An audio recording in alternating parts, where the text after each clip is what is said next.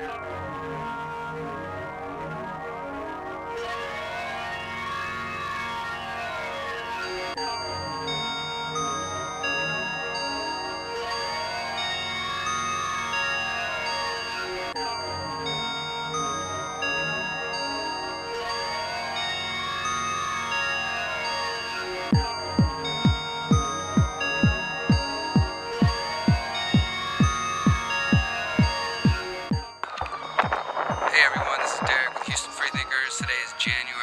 6, 2014.